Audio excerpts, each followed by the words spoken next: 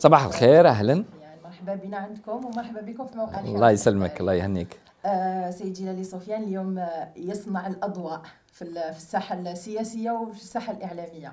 آه سيد جلالي سفيان اليوم مادامكم التقيتوا برئيس الجمهورية كما التقوا به عدة أحزاب آه جيل جديد نقدروا نقولوا أنه كان ضد السلطة السابقة. كان نعم. خرج افكار وتوجهاته كانت دائما واضحة. اليوم حبينا نعرفوا سيد جلالي سفيان الوضع الراهن السلطة الحالية واش اللي تغير واش نعم. نعم. أه صحيح واش راكي تقولي. خليني نقول لك برك أه كيفاش نوصفوا الإطار العام اللي رانا نتحركوا فيه. قبل 22 فبراير 2019 كان نظام أه قائم منذ 20 سنة. أه غلق كل النوافذ تاع العمل السياسي. آه، استغل كل ثروات البلاد لفائدة فئات آه، أقليات يعني اللي أعطاهم كل آه، الإمكانيات تاع البلاد وكل ثروات. وفي نفس الوقت يتلاعب كان يتلاعب مع الطبقة السياسية باش يوزع نوعا ما الأدوار في إطار مؤسسات مفبركة ما عندهاش مصداقية والكل كان يعرف أنه الانتخابات كانت مزورة آه، وكانت آه، توزيع حصص على آه، المستفيدين. في 22 فبراير 2019 الجزائريون خرجوا بقوة بعد في الحقيقة عمل تو توعي يعني لتوعية توعوي. وتعبئة اللي دامت سنوات من قبل. لأن ما نفكروش أنه بصدفة الجزائريين في 22 فبراير خرجوا. لأن هذا العمل عمل سياسي عمل عميق باش آه، تظهر الحقائق وما كانش سهل آه، باش آه، الجزائريون يخرجوا بهذيك القوة ويتحداوا السلطة اللي كانت عندها كل الإمكانيات باش تقمع وباش ترفض أي تغيير. أنا ذاك سقط النظام الفاسد يجي وقت التاريخ ونشوفوا يعني ما هما العوامل كيفاش باش سقط أنا ذاك هذاك النظام. وكيفاش كانت في الحقيقة معاملة وتعاون آه، غير معلن يعني كل واحد آه، لعب الدور تاعو ما بين آه، الشعب المواطنين اللي كانت هما القوة القاهرة ضد النظام وكذلك طبقة سياسية وكذلك ناس وطنيين في داخل المؤسسات. هذا يجي التاريخ ويقولوا كيفاش يعني آه، ما كانش من جهة آه، دولة كلها فاسدة ومن جهة أخرى مجتمع آه، انتفض ضد الدولة. كانت في الحقيقة مجتمع مواطنين وكذلك داخل الدولة تيارات اللي كانوا رافضين الفساد ورافضين الوضع اللي كنا عليه. فالنظام السياسي السابق انهار مع ذهاب الرئيس السابق. وشفنا كيفاش مباشرة في سياق ذهاب الرئيس السابق صبحوا عشرات الإطارات ورموز النظام. صبحوا في السجون صبحت ملفات تفتح صبحت يعني الفضائح تخرج آه، إلى آخره. هل التمك نسأل نفسنا هل النظام تغير على الأقل جزئيا أم لا؟ ولا ما تغيرش؟ كيفاش نفسر العدد الهائل من الناس اللي صبحوا في السجن والفضائح تخرج للرأي العام؟ ولا تغير على الأقل جزئيا؟ هل من فائدة الحراك والطبقة السياسية أن تغتنم الفرصة باش تحاول تدفع البلاد والنظام إلى التغيير الكلي بطريق بطرق سلسة باقتراحات بتعامل مع الجهات اللي بقات في السلطة ولكن كانت يعني رافضة للمسار السابق. في 6 آه، جويلية 2019 ولا تذكري كانت عدد من الأحزاب السياسية نظموا لقاء في عين بنيان. و أه باش نكونوا يعني صراحة أنا ذاك جيل جديد ما شاركش في تنظيم هذيك الندوة ولكن استجبنا إلى الدعوة ورحنا شاركنا. يا للأسف يا للأسف أه نظن أنه أه جانب من الحراك أه ما فهمش معنى تاع أه الحوار. اولا وقبل كل شيء في داخل الطبقة السياسية المعارضة قبل ما نعزز الصفوف وباش نقدر نتحاور على موقف موحد مع السلطة. فالرفض أه القاطع لأي حوار داخل المعارضة وأكثر من هذا مع السلطة خلى خلق نوع من الأوهام في بعض الأوساط. يعني كانوا يفكروا إنه آه لأنه الشعب آه تجند ويخرج كل جمعة وكل يوم ثلاثاء من قبل الجامعيين إلى آخره. كانوا يفكروا إنه قادرين يسقطوا نظام سياسي ويفرضوا على المؤسسات آه، طبيعة التغيير وبدون انتخابات يفرضوا مرحلة انتقالية. ويطبقوا الشعار تاع يتنحوا كاع إلى آخره. نظن هنا كنا دخلنا في طريق نوعا ما رومانسية للبعض ولكن الأخطر إنه كانت جهات آه، تلعب من الداخل ومن الخارج بوسائل لمحاولة استحواذ على الحراك. آه، أنا كنت في قلب في قلب المعارضة منذ سنوات. ونعرف يعني الناس اللي تتحرك. ونعرف مليح العلاقات نتاعهم. ونعرف مليح الأبعاد الفكرية تاعهم. و آه، في وجهة نظري آه، كان هنالك عدد من المخاطر اللي ما نسمحش لنفسي باش ندفع البلاد باش تدخل في مرحلة فوضى وين فيها بداية ولا نهاية طيب دكتور يعني في نعم. النقطة بالذات يعني ممكن نقولوا انه هذه الأمور اللي خلات آه، جيلالي سفيان أو جيل جديد أنه اليوم يقبل الحوار ويفتح الحوار ويلتقي برئيس الجمهورية. نعم. هذه اللقاءات كنتم أنتم جيل جديد كنتم من بين الأحزاب الأولى اللي التقت نعم. برئيس الجمهورية. كيف تقيمون هذه اللقاءات؟ هذا في هذا السياق يعني كان مليح نعاودوا نوضحوا كيفاش كانت الأمور باش نوضح أنه بعد الانتخابات الرئاسية إحنا كنا قمنا بندوة صحفية باش نوضحوا آه، الأمور ونعطيو التحليل آه، نتاعنا اللي رايحين نبنيو عليه العمل السياسي. قلنا أنا ذاك انه البعض اللي كان حب يعني يلغي تماما السلطة ويجيب بسلطة جديدة تحت عنوان مرحلة انتقالية إلى آخره طريق انتهى لأن رئيس الجمهوريه أصبح آه، الآن قائم. والإرادة تاع محو كل المؤسسات غير ممكنة. فهذا وش راح يؤدي؟ إما أنه فئة تصبح تعارض بدون حدود السلطة القائمة.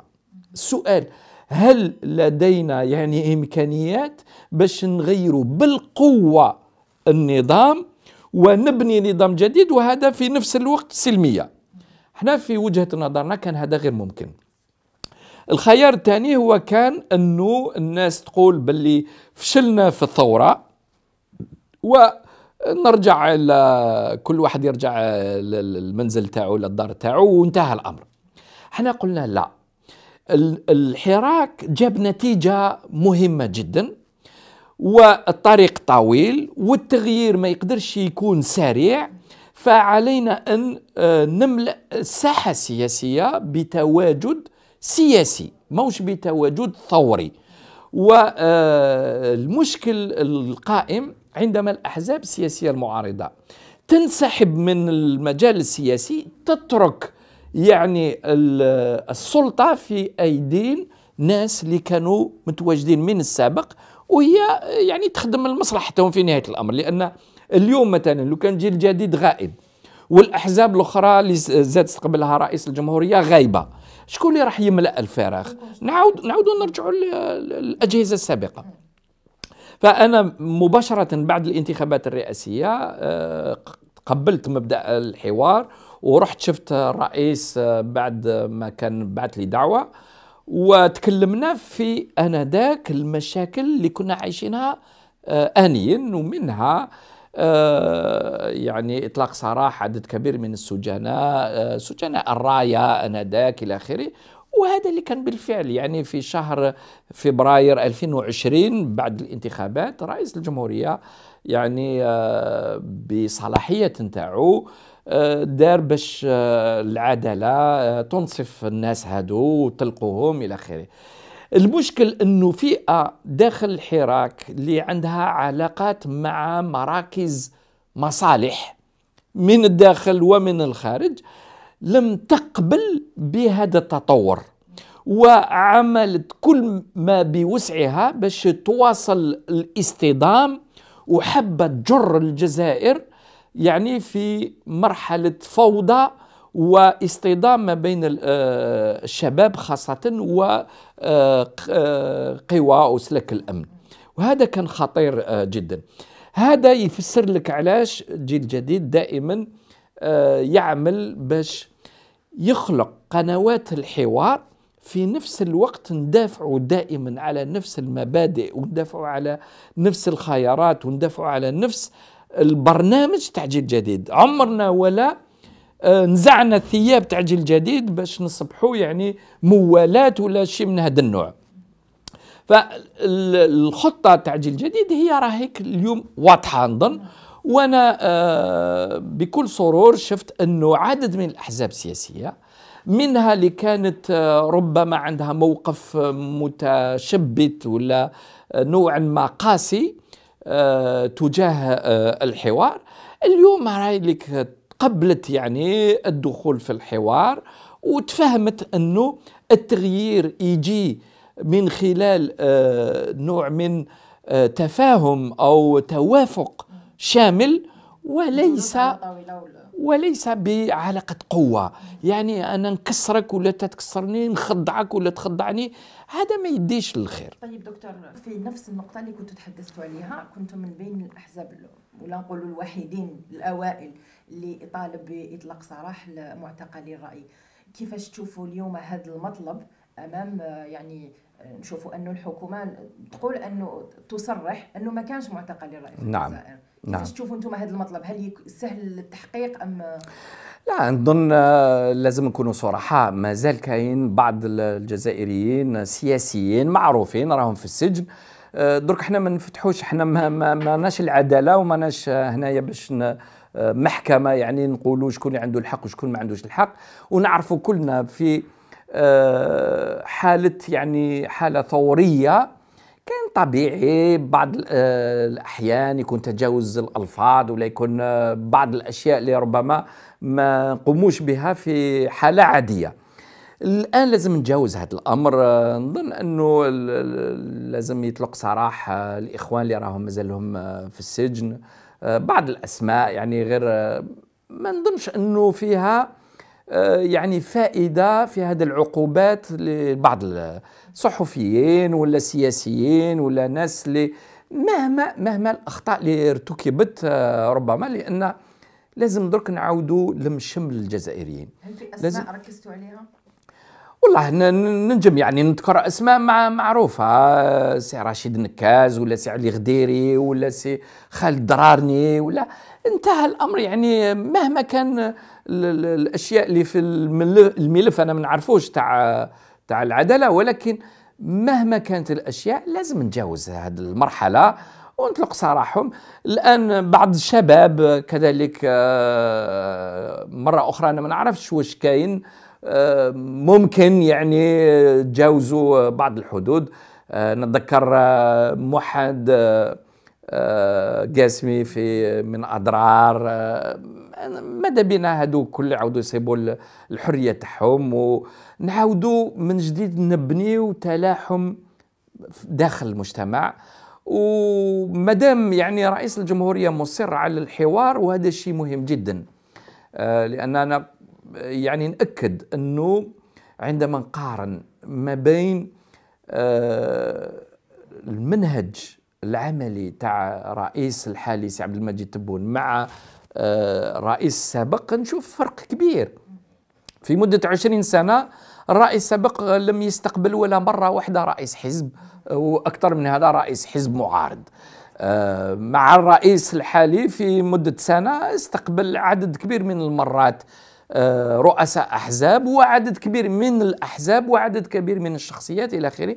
هذا يدل على أنه هنالك رغبة في الحوار آه، الوصول إلى توافق آه، العمل الجماعي إلى آخره. نظن أنه هذو أشياء إيجابية لازم نستثمروا فيها كطبقة سياسية. أنا من صالح المعارضة أن تتكلم مباشرة مع الرئيس وتوصل له يعني الاهتمامات أو آه، الأشياء اللي تقلق يعني المعارضة. نظن أحسن من آه، نتكلم إلا بالبيانات آه، ولا باستجواب في صحافة ولا. هذا الاتصال المباشر نظن مهم جدا. وخاصة خاصة إنه الرئيس عندما نلتقوا به ما يحدد لكش الموضوع ما يقول لكش أنا تكلم لي في حاجة برك وما تكلم ليش في حاجة أخرى. ما كاش جدول أعمال آه، حرية مطلقة نتكلموا بكل سهولة. ما كانش تهرب من آه، المواضيع. نظن هذه آه، شيء مهم باش الرئيس يسمع وتلحقوا كل المعلومات من كل القنوات وتخليه ياخذ القرارات اللي تناسب الوضع.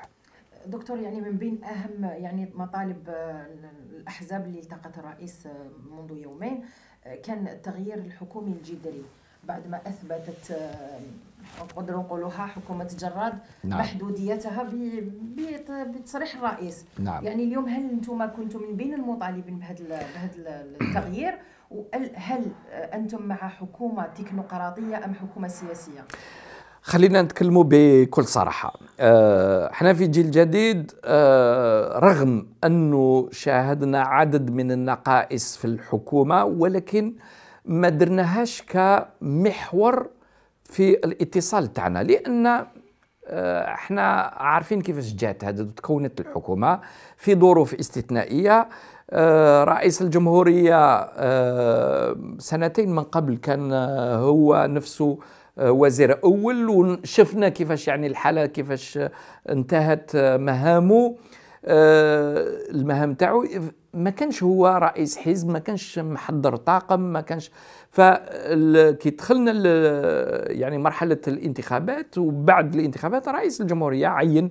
أنا ما مانيش عارف يعني كيفاش تعينت الحكومة ولكن في نهاية الأمر هذه الحكومة نقدروا نسميوها حكومة انتقالية. آه، تكنوقراطيه آه، تركبت يعني بوجوه اللي ربما ماهيش متكاملة بينها.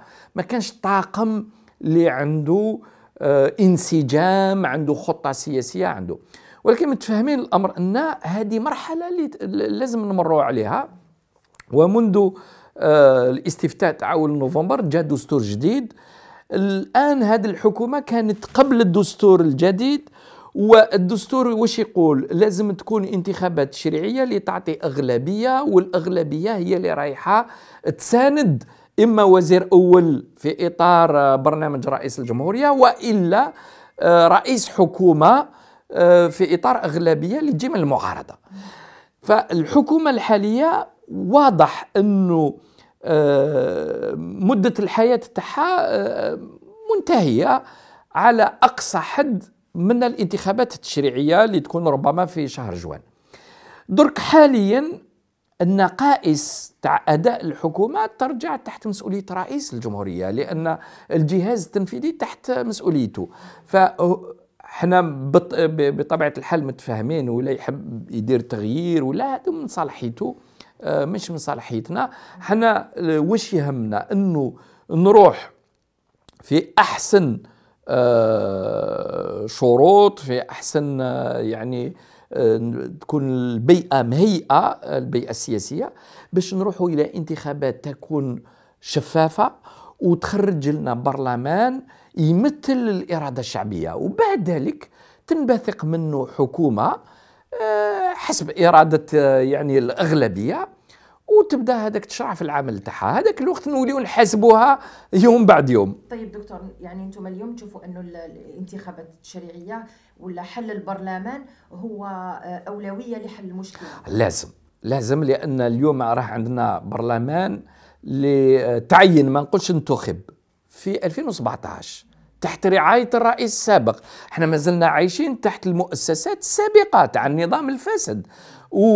والكل يعترف انه هذا البرلمان مزور آه، ناس تعينت آه، وزعوا آه، الحصص على الأحزاب السياسية فيها المال الفاسد كل هذه الظواهر اللي نرفضوها. فحتى ولا ما ضغطناش باش ونعرفوا كلنا هذه السنة كانت جائحة كورونا كانت تعطلت المرض إلى آخره.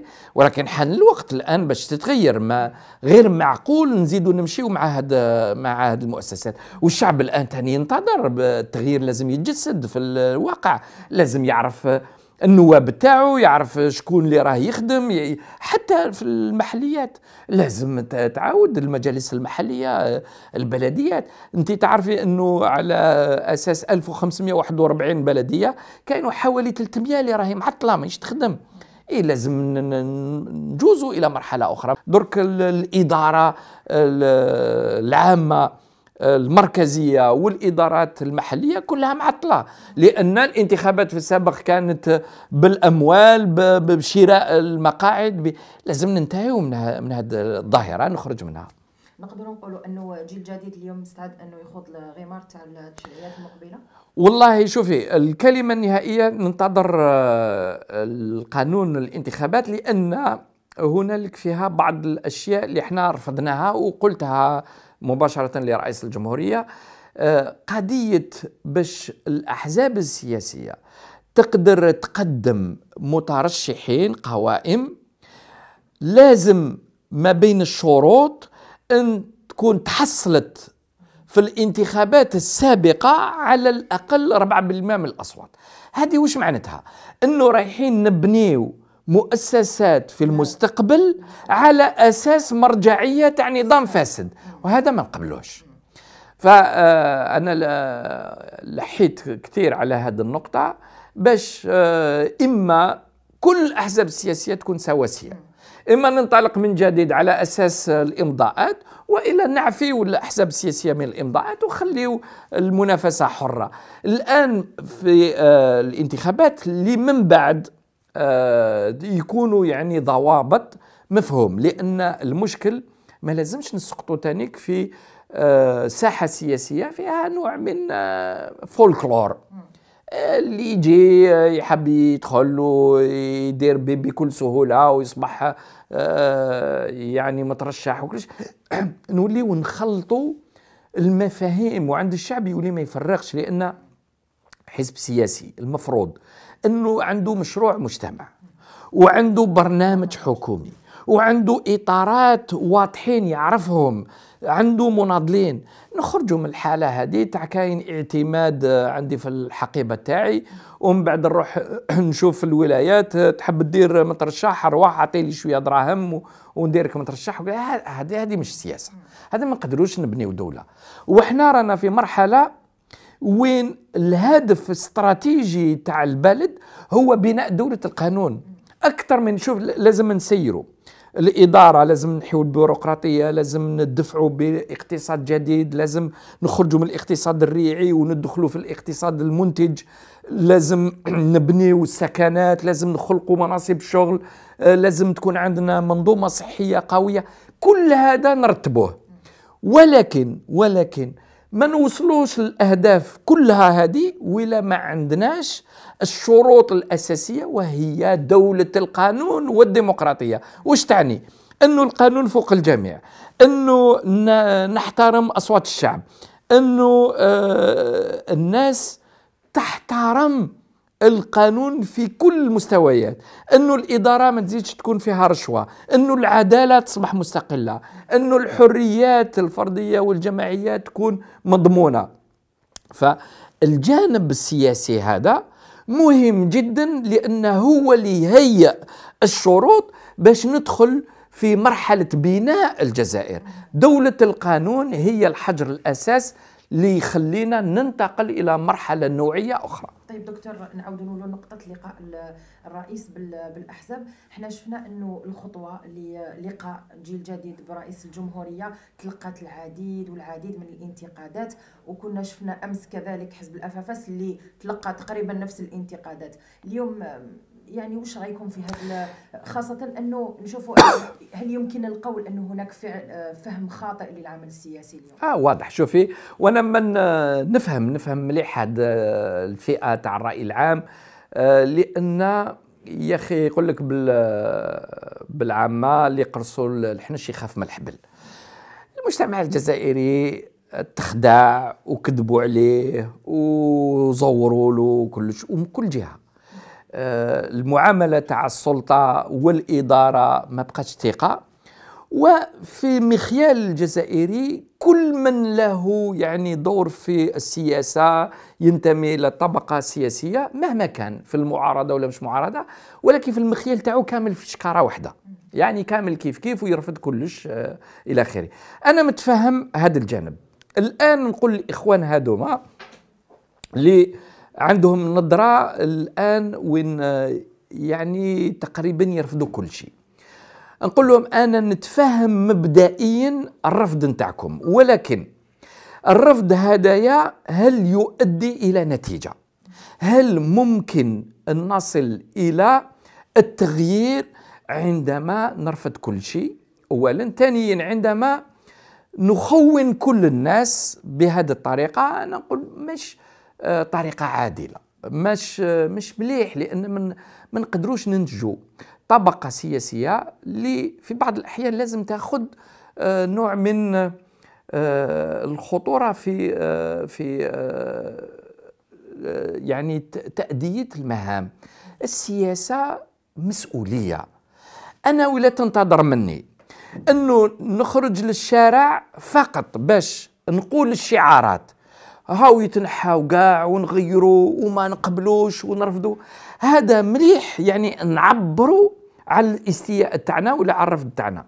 ولكن أنا كسياسي ما عنديش الحق نتخبى وراء شعارات اللي في بعض الأحيان آه، الشعب يقولها تلقائيا ولكن ما عندوش الأدوات باش يحققها. نصبح أنا هذيك هي الانتهازية. أنا باش نحمي الصورة تاعي ونحمي الصورة تاع الحزب نتاعي نقعد نردد إلا ما يقول الشعب. ولكن ما هي النتيجة في الأخير؟ فإذا أنا لازم ننشر وعي لازم نكون طبقة سياسية اللي تكون آه، حقيقة عندها مبادئ وتتحاسب شيء طبيعي جدا ولكن لازم تتحاسب على مقاييس موضوعية. يا أخي ما, ما تنكرش الناس برك لأن أنت راك آه، في حالة رفض تام. درك واش راح يكون في الواقع؟ الواقع أنه الإخوان هذو اللي عايشين في آه نجم نقول الفضاء آه الافتراضي. هاد الناس ما حابينش يدخلوا في اللعبه السياسيه ورافضينها وربما عندهم الحق ولا ما عندهمش أنا ما نحكمش عليهم ولكن في نهاية الأمر ما يكون عندهم حتى تأثير على الواقع. ولو كان الطبقة السياسية اللي عندها رغبة في التغيير ومارست المعارضة وعندها برامج إلى آخره نفترض قال إحنا في جيل جديد والأحزاب الأخرى قال أوكي إحنا هاد السلطة ما, ما تساعدناش ما ندخلوش الانتخابات وما نتكلموش معها ونغلقوا الأبواب وخلاص انتهى الأمر. انتهى. غدوة يروحوا الانتخابات هل إحنا قادرين نحبسوا الانتخابات؟ لا. والانتخابات شكون يعاود يجي يعاود يجي لك دا دا كانوا دائما هنا لأن الطبيعة ترفض ترفض الفراغ. درك ولا أنتم راكم تكسروا كل المعارضة باش تخليوا المجال مفتوح إلا الأجهزة السابقة هذه من مسؤوليتكم. لأن أنت راك في الشارع. كل جمعة حبيت تخرج للشارع. ما بين قوسين عندها أكثر من سنة الآن انتهى الشارع. نقولوا باللي آه، ما زلتوا في راسكم وفي آه، في الفيسبوك ما زلتوا راكم ديروا الحراك. ولكن الهدف الاستراتيجي تاعك واش هو؟ انه تمنع على كل جزائري اللي عنده كفاءة وعنده نية في التغيير وتقول له ما تدخلش للميدان وتخلي الميدان فارغ للناس اللي انتهازيين وربما سراقين وإلى آخره. ما هي الفائده ولا حبيت تخلق من خلال هذا التناقض حبيت انت برك تسقط النظام بهذه الطريقة. هل ممكن؟ ثانيا هل هذا هدف سياسي؟ ولا باش يسمح لنا واش صرا لعدد من البلدان الجيران ومن بعد تولي النفوذ الخارجية تدخل في البلاد؟ أنا ما نظنش باللي هدايا يعني برنامج آه، فيه فايدة. حنا بالعكس حنا ماذا بينا؟ نحضروا طبقة سياسية جديدة. آه، جيل جديد. الناس عندهم كفاءات. والروح اللي كانت تتحرك في الحراك آه، في السنة الأولى هذيك الروح تاع التغيير والإصلاح والكفاءات إلى آخره هي اللي تدخل داخل المؤسسات. ونحن يعني في الذكرى السنوية الثانية للحراك اليوم امام تعالي الاصوات بعودة عودة الحراك من جديد نعم. والخروج إلى الشارع. ما تشوفوش دكتور اليوم باللي لازم نخلقوا طبقة اللي تمثل هذا الحراك طبقة سياسية واعية وناضجة اللي تمثل هذا الحراك شوفي أنا آه، منذ سنة 2019 في الحقيقة في حتى في البداية كانت هذه الفكرة تاع آه، نهيكلوا الحراك. ما خبيش عليك أنا في 26 فبراير 2019 يعني أربعة أيام بعد اندلاع نقولوا الثورة ثورة آه، الابتسامة. أه نذكر أن آنذاك في آه، إحنا كنا نادينا للخروج في 24 فبراير.